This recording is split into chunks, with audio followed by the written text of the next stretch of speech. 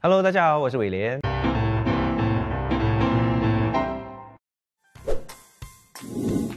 最近在忙些什么？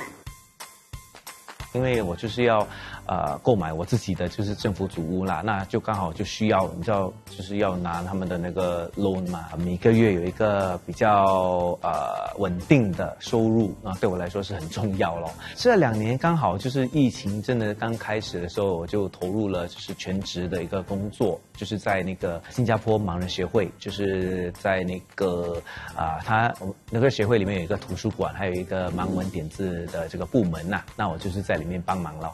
那之前我也有当过电话售货员嘛，啊，还有 customer service，我也就是也也有做过大概一年多，所以这些对我来说都是为了生存啦。疫情对你造成什么困扰？因为我已经找到了一份全职工作，所以其实真的也还没有太大的影响。吃饭方面是没有什么问题，就是要 travel 的时候，就可能有时候就是疫情啊，啊，人家会比较不敢靠近彼此嘛，对不对？那当然每次进了一个没就是我们的所谓的 safe entry 嘛，就是那个 check in，当然会带对对盲人来讲是会带来一些不便。那现在有一些直接更自动的，你把电话放上面就滴一下就好了，那那个当然更容易了。是什么？刚才我就是搭了那个 Grab 来，当他们好奇，对你好奇，但是要问你问题，问你一些他们好奇的东西，他们会不敢问啊，呃，your 呃，sorry 啊，I may offend you 啊，呃，your your your your eyes 啊，啊，your condition 啊，啊，is it from birth 啊？所以他们会这样问的扭扭捏捏，问的啪啪啪啪这样的，所以我觉得其实你这样听起来哦，我本身觉得更别扭。所以很多时候他们当他们要问的时候，我都会帮他们完成问题。就哦，要 ask this one is it 啊，我就讲哦，要 ask is it 啊，I'm born blind is it，而且哎呀呀呀，sorry 呀，sorry 呀，而且会 sorry。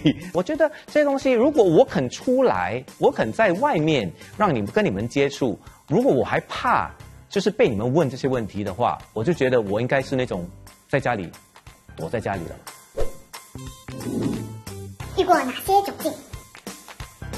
那因为很多时候我们做一些事情，我们有我们自己的方法来做。我们要去某个地方，可能我们会有自己的所谓的我们自己的 route，自己的整个已经习惯走哪一条路，习惯怎么样走去了。我一个朋友也是一个盲人朋友，他遇过的就是，比如说他要去 point A 到 point B，那 point A 到 point B 可能当然有不很多方法去。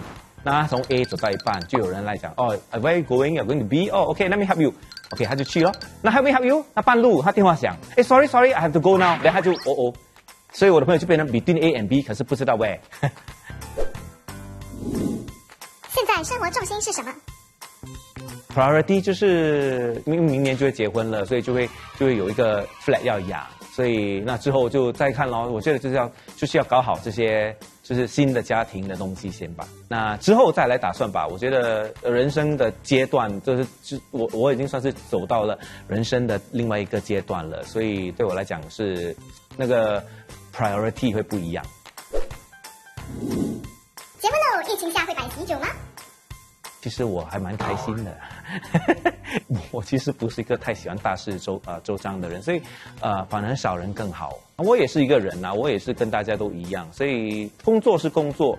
那现在当然我还算是一个歌手，那那也是我的工作，所以那我工作以外，我也就是我嘛，我也就是一个新加坡的盲人之一。我的生活其实也跟比如说啊、一些的盲人，或者是跟你们大家，其实也不太也也没有什么太大的不同。